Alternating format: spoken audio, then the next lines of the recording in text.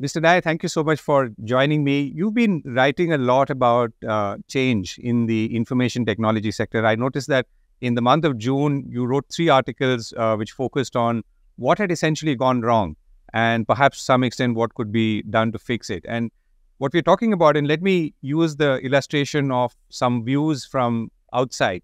So, for example, let's say uh, uh, stock brokerage like JP Morgan or Jefferies, uh, both of them uh, a few months ago said, uh, or rather put an underweight tagging on uh, IT companies. and when usually when they talk about IT companies, they talk, talk about TCS, they talk about Infosys, Wipro, HCL, and Tech Mahindra, and HCL being your own alma mater.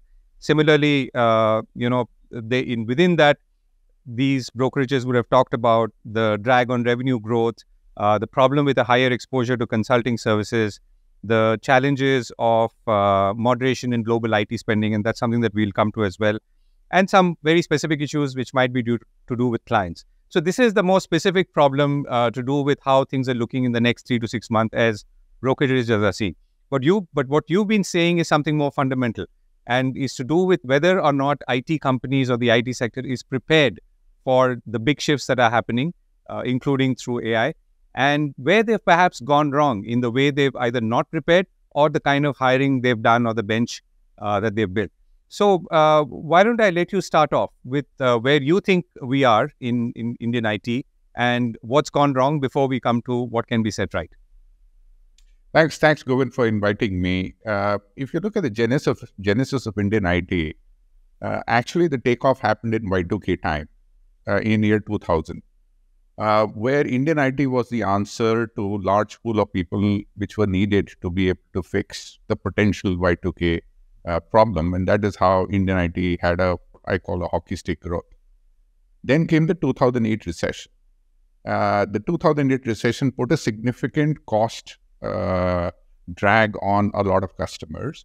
In Indian IT, given the fact that they had matured in the last eight years with offshore services and CMM level five factories and ITIL factories, became an answer to that problem, and because of which the uh, global IT companies saw a downstick, whereas Indian IT companies gained market share during that phase. Uh, if you take the COVID time, exactly the same thing happened, predominantly because work from home and offshoring took a big sweep up and everybody was cutting cost. Indian IT was the answer to that problem. When we come now, uh, we see a dichotomy in number one, what the global banks are saying, for example, or global customers are saying. You take Citibank, you take JP Morgan, you take Bank of America. I'm talking about the customers, not the brokerage houses. Sure.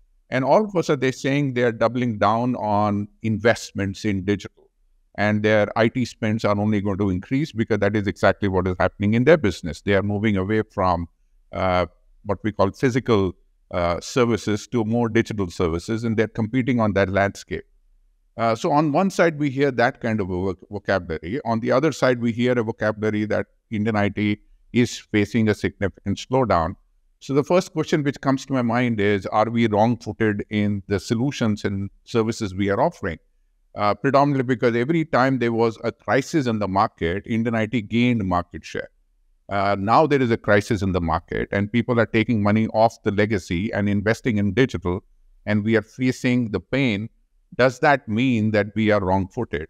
Does that mean we let the margins, we release the margins rather than invest the margins during COVID times?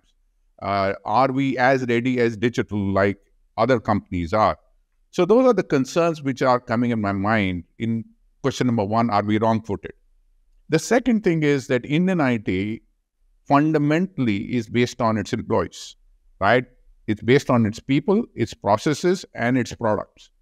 Uh, the people part of it, you know, I'm I've seen a lot of announcements which are like the white the the new startup announcements. The, you know, unfortunately, we have a lot of these celebrated startups which are sacking people like bananas Indian IT seems to be, despite the fact that they have very large balance sheet, are forgetting that for such large companies, uh, reputations are very important.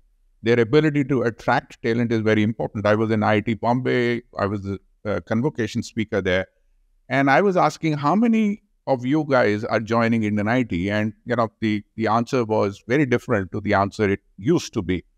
So the question is if you do not attract the best, how will you build the products of the future? How do you build capabilities of the future? And why are you not attracting the best is predominantly because this knee-jerk reaction policies of getting red and you know utilization dominating quarter and quarter margins being important. They are important, but I think we are in a cycle where investment in new products, new platforms, new services, new digital, new capabilities very critical. Therefore, we have we should have the ability of attracting the best. So on those two counts, I believe that I'm a little concerned about where Indian IT is going. Having said that, Indian IT has always emerged from these scenarios. So all the listeners, especially people who wish to join Indian IT, uh, I am an insider and therefore concerned. But if you're an outsider, don't be concerned because Indian IT always finds a way around. We we criticize ourselves internally, but we'll always find a way around. And I'm sure the leadership of Indian IT will find a way around and and I can uh, testify that to that having being part of so many uh, NASSCOM fora over the years, where I've seen you know the the quest- dire questions being asked and uh, you know the solution somehow being found by the year that uh, followed. No, so I just come back to banks. I mean, you did you did talk about how uh, you know banks in an in an article that you wrote that the top ten U.S. banks increased their investment in technology by twelve to sixteen percent. So if we can uh, build on that a little bit and then uh, connect it to the point that you made about people not being there. So either we've hired too much, but we've not hired the right people, and those we want to hire, we are just not finding. So it seems to be a conundrum of out of which there is no way out. Yeah. So you you you have to go back a little and think when the industrialization happened, what really happened is that processes and back office automation became very, very important. So we automated everything so that banks and all our customers are more efficient and more effective, more responsive. Uh, and therefore, the back office became SAP, Oracle, you know, all these back office applications, banking, automation software came. And Indian IT came up with the fact that they became extremely good in what we call the back office development, back office maintenance, infrastructure maintenance, and the business process outsourcing around the back office. Now, with digitalization coming in, the back office has become less relevant. The front office has become very relevant. The customer experience. So you join into go into Axis Bank or ICICI Bank, you get a different kind of experience, and people are choosing banks based on the mobile app experience they have with the bank rather than the balance sheet of the bank. You know all those. So therefore, the banks are digitalizing themselves to move away from what we call standardization, commoditization to personalization. Now, that whole move of standardization to personalization is what we call the digital move. All that development is not happening offshore. All that development starts with what we call, uh, you know, a, a, fast development on a digital innovation lab, which which is largely on customer premise or an nearshore center. So, therefore, if you want to attract, get into that market, you need a couple of things. Number we, number one, you need feet on the street where the customer is, right? Number two, you need consulting capabilities where the customer is so that you can navigate the customers to toward left and right. And number three, you need talent who has been able to, only in the last five years, understand these technologies, absorb this technology, apply this technology so that he or she can consult to the customers. And that needs a fast track growth of capability, which did not exist five years ago. Now, all that you have to do near shore, and then only the product the services will start moving offshore. And to be able to do that, because if you don't have enough people, you need a product, you need a platform. And you should have invested in a product and platform to be able to do it without people or with lower skilled people. Now, when you look at the way Indian IT has been hiring, obviously they have been hiring onshore, you know, at a, at a good rate. But we need to hire exactly like we hire from IITs. We need to hire from the best institutes of the world to be able to build those products and platforms and I'm very happy to see CEOs move onshore. I think the C's, chief delivery officers and chief technology officers should also move offshore because there is where the market is right now, and the tail will come to India automatically. So this whole emphasis on hiring from campus and you know large numbers and things like that is reflecting the massive cash business, which is the legacy business. And it's a very attractive business and very difficult for us to move away from it and it will go through ups and downs, and therefore you will hire and you will not hire. I hope you don't fire, but you will delay hiring, and I hope you don't change the uh, salary which you offer to the freshers. These are all not ethical practices. But there, that is not where the real story is. The real story is what you're asking: Who are we hiring? Where are we hiring? How are we accelerating their capability building? And are they relevant for tomorrow? That answer I don't have. And that answer, if I look correlate with revenues, I I I would say that is still work in progress. So, what is wrong with legacy uh, having legacy skills at least at this point? So, I, I mean, we'll come back to the point about digitalization, which uh, uh, has been going through its own journey for about three to four years, and uh, I'm going to build on that a little bit. But what's wrong with legacy? You have to remember there were there used to be a company called EDS, uh, you know, and HP and IBM and Dell, and they were the big dads of services economy. And in came Indian IT with a new offering called the offshoring, CMM level five, automation, and therefore the entire legacy business moved lock, stock, and barrel. And the customer said that because cost is important, dear EDS, you're no, no more relevant. These Indian IT companies like TCS and all those are a lot more relevant. The business moved. So the question is, legacy is a very attractive business, and the reason you know those companies did not move is because the total IT outsourcing at that time was a very attractive business with 20%, 30% net margin. And therefore, they said, why should we attempt to go to India? Why should we attempt to do offshoring? We are already making 20, 30%. This included IBM.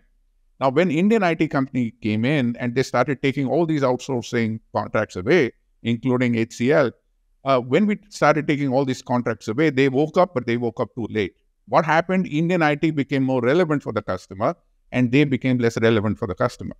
The question is, legacy is a very attractive business. We are making the same statement. It is 20% net margin. It is growing at at teens, you know, 10%, 12%, 13%. Uh, we can deploy tons and tons of people. Nothing, nothing wrong with it. But see where the market is going. See what happened to EDS should not happen to you see the fact that you are continue to be relevant and continue to talk to the CEO, continue to be in the boardroom. Yes, digital will continue to be only 5 10% of the customer's revenue, but you will be relevant for the customers. That is what relationships are all about. You don't want to be a back office uh, vendor. Uh, when somebody else becomes a front office vendor, you lose relevance and they build an offshore capability. And then, you know, exactly what we did to global IT companies, they do to us. So that is the reason digital is very important, not from margin or revenue perspective. It is very important from relevance point of view.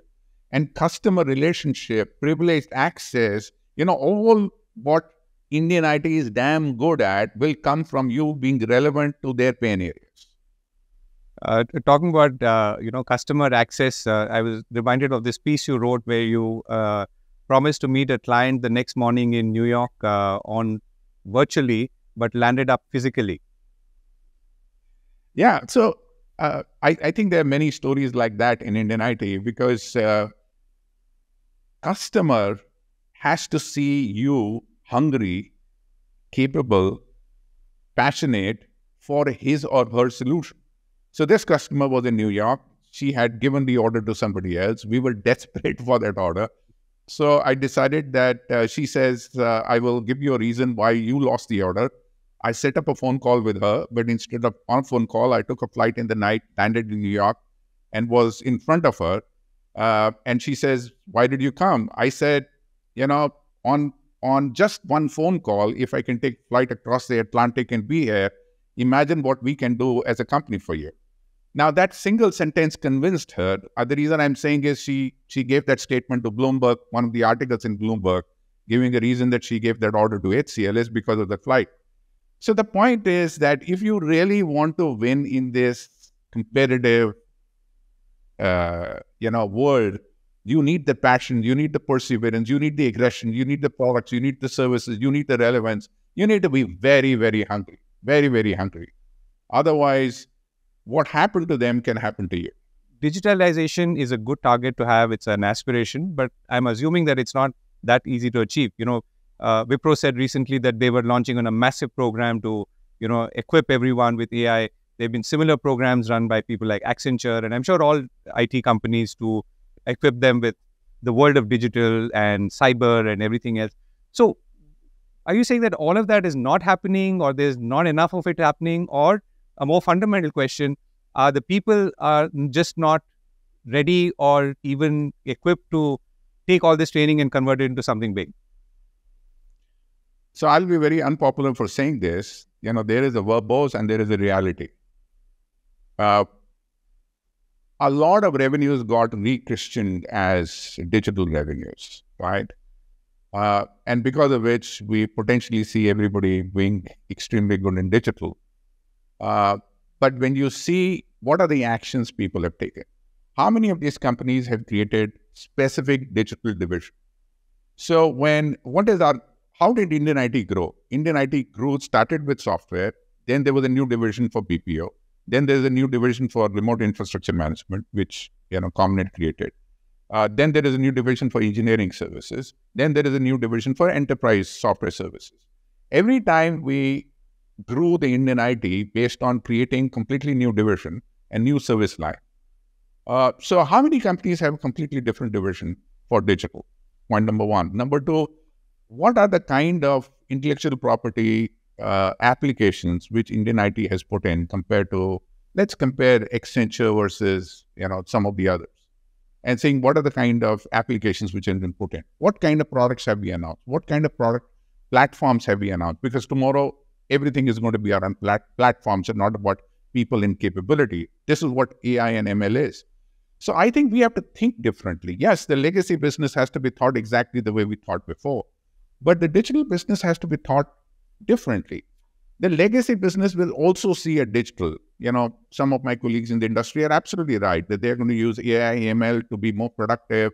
The service cost will go down. If we needed 10 people, we'll need two people. All that stuff is going to happen, definitely going to happen. And that efficiency and effectiveness, I think Indian IT is fast masters at it, and they're going to squeeze the juice out of it, and they continue to be relevance or relevance uh, on on legacy. But my argument is legacy is not going to be relevant right? The relevance is shifting. And to be relevant for that, what is relevant for the customer, which is not necessarily just cost, but his market share, is relevant. Most of these banks are struggling to be relevant to the customers. So there is where you need to move. And to be able to move that, the matrix for you is completely different. Now, how you go about doing it, you have, you know, I don't want to name, but some of the global IT companies' digital revenues, digital products is completely different to our, our profile. Their percentages are completely changing. So I would say it needs more energy. It needs more intent. We need to get afraid of the future. We need to get afraid of what's going to happen to us in the future. And that will get the best uh, of the Indian IT. And once again, I say, I'm dead sure Indian IT will get it right. It's just the fact that we need to, you know, do that share I, share I uh, think to ourselves because that is what I'm afraid of. If Indian, uh, what happened to BPO?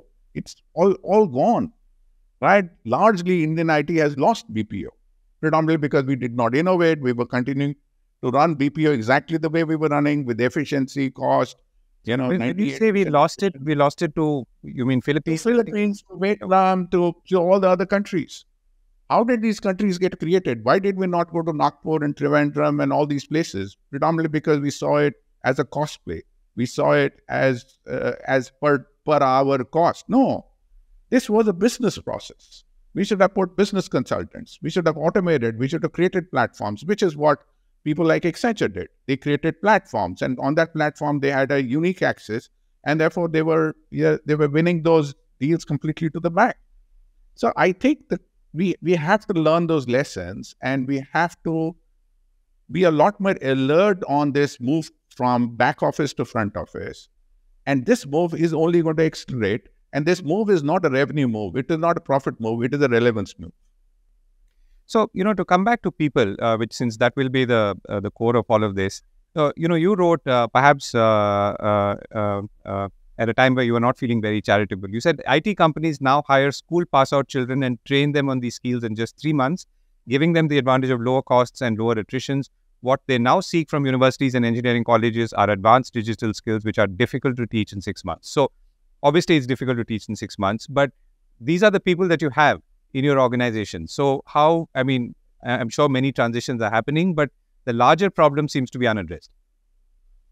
Uh, yeah, I think so. We, I wrote that article from, you know, waking up the education system in the fact that you are wrong step. Uh, you know, at one particular time, engineering used to be a large supply pool for Indian IT. Indian IT is going down the tube, and their legacy recruitment is school pass out. And therefore, if you are not careful, your engineering colleges will close down, which is exactly what is happening.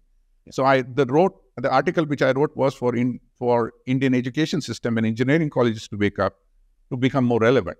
But from an Indian IT point of view, I would challenge you to ask how many people, how many of the top five IITs, what percentage of students go into Indian IT? So the talent is there, Govind. The talent is there.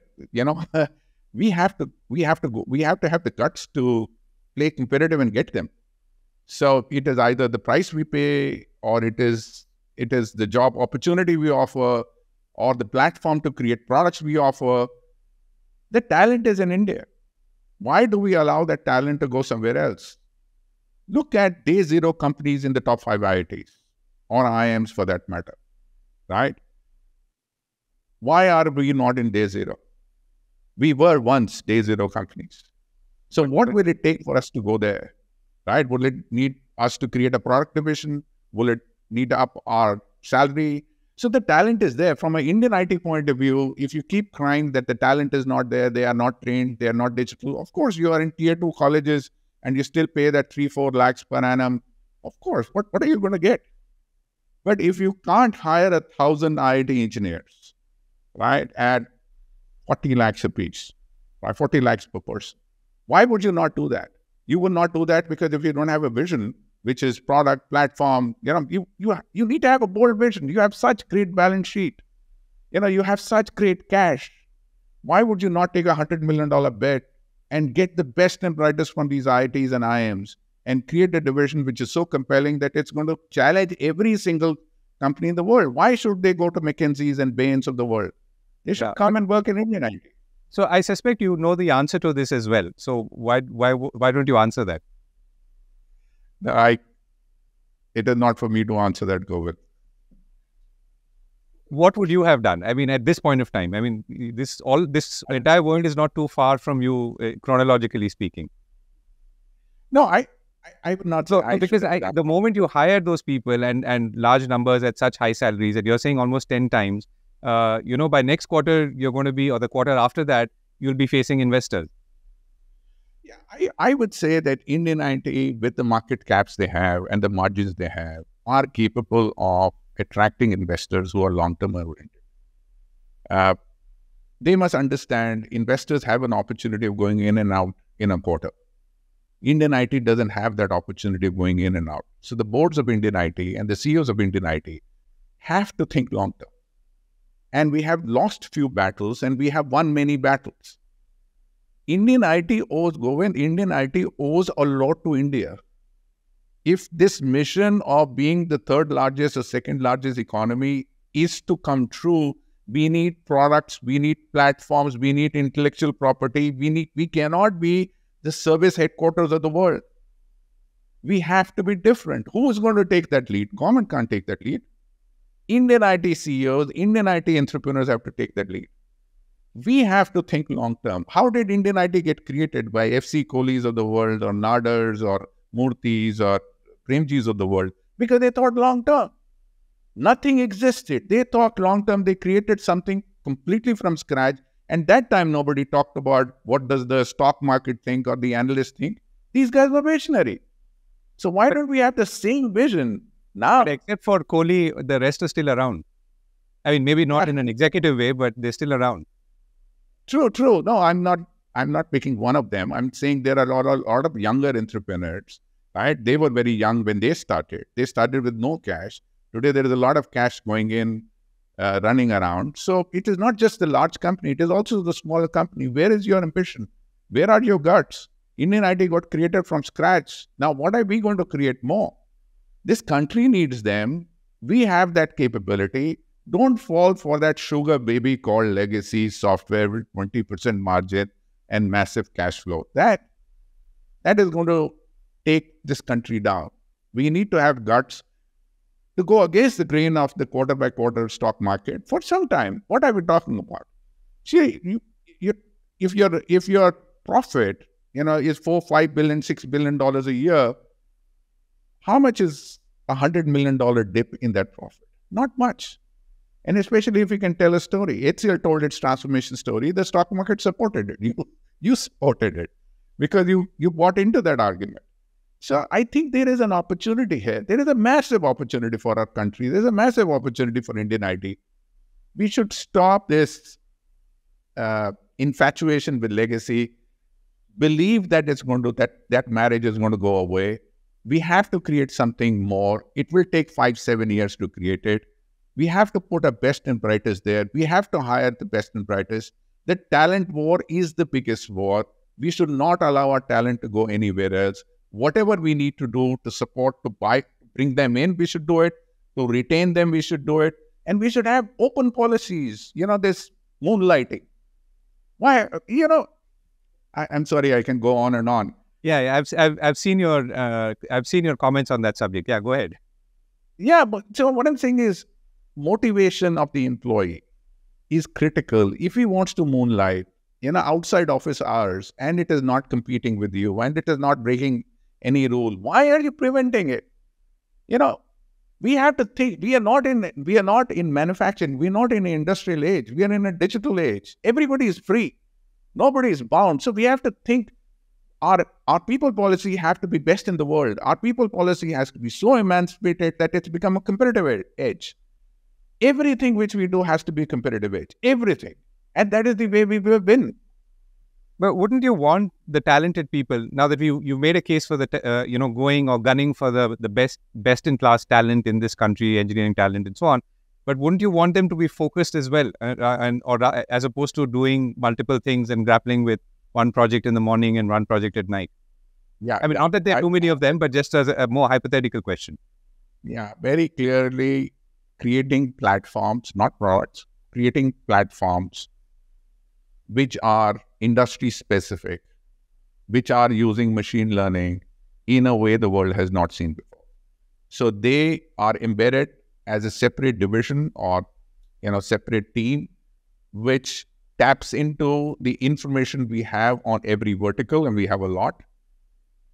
Starts working on creating platforms which will bypass all this uh, custom build of digital solutions and will take us, you know, exactly how India went bypassed the mainframe age and went into Unix, multiprocessor Unix, and we completely bypassed the mainframe age and became, you know, world beater on capability of developing operating system is the way we need to do that. So they need to move and create something which is going to be very relevant five years from now. So they so need to be in that. Yeah. So and, and I'll come to my, as as I ask you my last few questions, but uh, you know Indian IT has faced many challenges, and that too is very well documented, uh, and people talk about it. So uh, you mentioned some of them yourself. In the scale of uh, complexity of challenge, where would you rank the current one versus what no. you've seen in your career? Uh, yeah, it's a uh, I it's a nuanced argument in terms of the the challenge is five out of ten when we have faced eight out of ten kind of challenges right? Our preparedness and response to the challenge is 50% of what our preparedness and response to previous challenges.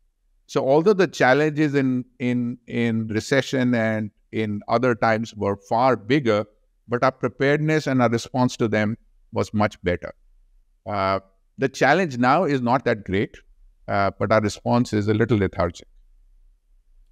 And uh, we talked about the supply side, whereas in, we've talked about youngsters, students, uh, joinees, uh, those who are going up the ladder. So let's look at the other side. And you you've talked about on on more than once. You've talked about guts. You've talked about bravery. You've talked about taking the leap. So what should CEOs be doing? Or to put it differently, if I were to be observing a Infosys or a Wipro or a HCL from outside, what should I look out for, or what should I expect that CEO to do, which would give me confidence that that company is marching into this new digital age in a, in a, in a significant way. All the companies you mentioned are great companies, including, uh, you know, HCL, which is, I think, the greatest company. So I, I don't think I have an advice. I have an, I have an advice for those CEOs because I'm an old, old, uh, old daddy. I've, you know, been outside uh, the industry for 10 years. I've been working on social change. So I, I would not give an advice. But here is here is what I would want you to think about. The new competition is coming from the Googles and Amazons and Microsoft the world when everything is moving digital and into their house. They are creating new smaller vendors in local communities which are offering those digital services to their customers, right? Watch that trend. And therefore, don't be focused on China, Vietnam, Philippines, or Eastern Europe. They are competition or or uh, or what's happening in Mexico. Yes, but watch out for what these biggies are doing. These biggies are not only bringing in all the applications, all the infrastructure into their houses, and therefore they have we call privileged access and exclusivity with their customers. But they are doing it not with the biggies, but with creating a lot of smaller ecosystem who they can have a sharper control on. If you remember what Microsoft did with operating system, is what potentially can happen with with uh, uh, with the services sector if you're not very careful. So I don't have an advice for them, but I would say that you need to redefine competition. Uh, the competition is going to, like Indian IT emerged, nobody believed Indian IT could compete with an IBM and HPs of the world, but it did, and it took the market share away.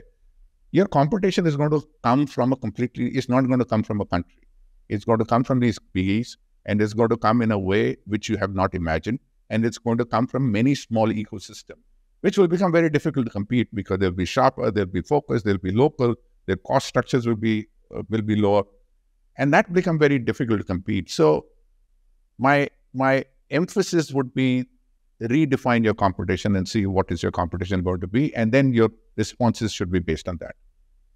Right. And last question. So, uh, you started the Sampark Foundation, which uh, addresses education gaps, and uh, it's been a while, and you rolled it out to 76,000 schools now, the interventions. Tell us about where you are in that process and uh, what's next. In 2013, uh, me and my wife decided that we want to quit everything which we were doing, and I quit HCL and said that let us take an opportunity to try and see if we can demonstrate large-scale social change in education uh, and bring design thinking and innovation to it. A lot of uh, uh, my partners from Harvard Business School and you know some people from uh, West Coast collaborated to create design thinking and create products which will ignite the classroom transaction uh, and make the job of the teacher easier. So we created math kits using an audio box. We created an English kits of of creating an immersive experience of stories and Bollywood and songs and things like that. And now we've created what we call a smart uh, smart program where we are converting a dumb school into what we call a smart school. All this for less than one dollar per child per annum. So today we are touching lives of 1 crore children uh, in 1 lakh 9,000 schools across eight states. And I mean, it's a very fulfilling uh, opportunity uh, for me because I'm getting a lot more. Yeah, we are, me and my wife are funding this completely. We do not take any funds from the government, uh, state or center government. Uh, but this is very full, fulfilling. The message which I want to give through this challenge, because you have given me an opportunity, is some of you professionals who are looking at this and thinking about this, uh, there is a life outside IT. And that life is called India. India needs intellect. It doesn't need your money. There is enough money flowing around. It needs intellect. It needs design thinking. It needs solution. So all you guys who have been so successful in IT, especially in IT, uh, think about hanging your boats and doing something, uh, you know, back for the country. Go to Jharkhand, go to Chhattisgarh, go to these tribal areas, which these days I travel it's a very poor country. It needs your help. And it's not going to be only government who's responsible. We are all responsible and you can make a change. So go back to your village, go back to your town, apply innovation, apply design thinking, apply process, apply technology, and make a change. And I think it'll make you very happy compared to that million dollar bonus which you normally get. Right, uh, Mr. Nayar, thank you so much. And that's a very nice and uh, a positive note to end on. Thank you once again for joining me. Thank you. Thank you so much.